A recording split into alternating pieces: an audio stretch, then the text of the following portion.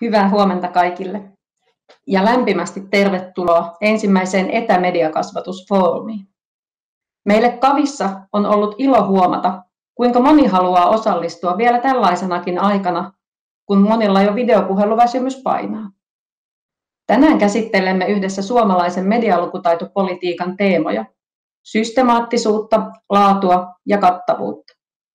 Nämä teemat kehittyivät medialukutaito Suomessa linjausten selkärangaksi yli sadan organisaation ja asiantuntijan antaman työpanoksen pohjalta. Medialukutaito on ollut tänä vuonna ehkä enemmän kuin koskaan esillä mediassa. Koronaviruspandemian siivellä maailman yli on pyyhkäissyt myös terveyteen liittyvän väärän tiedon hyöky, joka pahimmillaan uhkaa ihmishenkiä. Tämän seurauksena ovat lisääntyneet myös puheenvuorot siitä, kuinka ihmisten tulisi olla lukutaitoisempia. Medialukutaitoisia, terveyslukutaitoisia tai informaatiolukutaitoisia.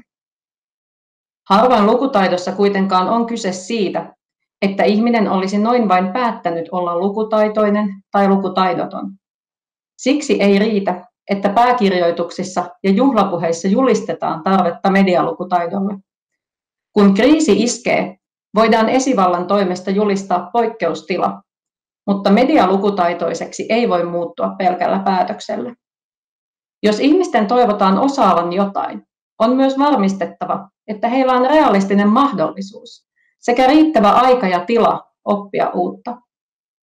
Ja sen eteen me kaikki mediakasvattajat teemme työtä.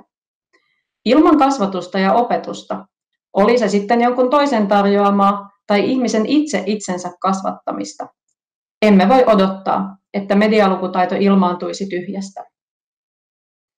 Me mediakasvattajat olemme tehneet työtä medialukutaidon eteen ennen koronaa ja tulemme tekemään sen jälkeenkin.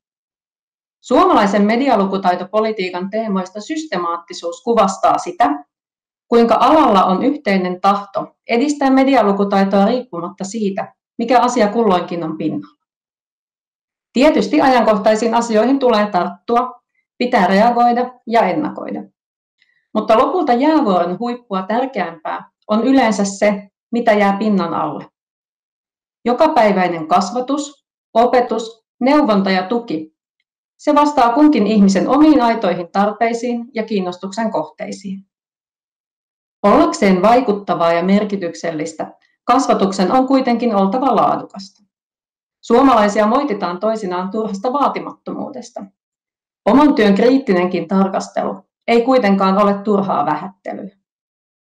Avoin pyrkimys kohti parempaa on merkki siitä, että toimitaan terveellä pohjalla. Suomalaista mediakasvatusta arvioidessa voimmekin vilpittömästi todeta, että teemme hyvää työtä, mutta aina on varaa parantaa. Siksi tänäänkin keskustelemme yhdessä siitä, mitä on laatu mediakasvatuksessa.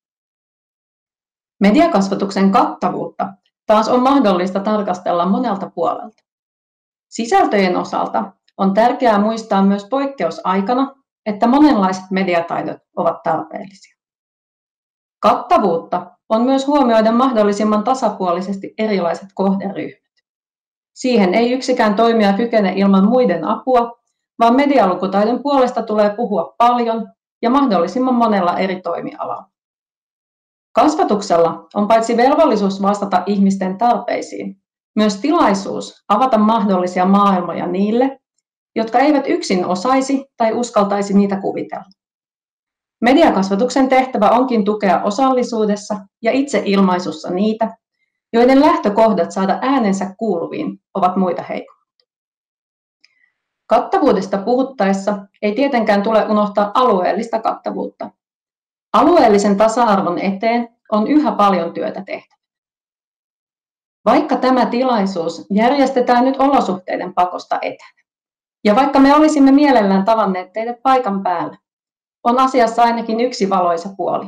Ja se on se, että nyt mediakasvattajilla on asuinpaikasta riippumatta tänään mahdollisuus osallistua.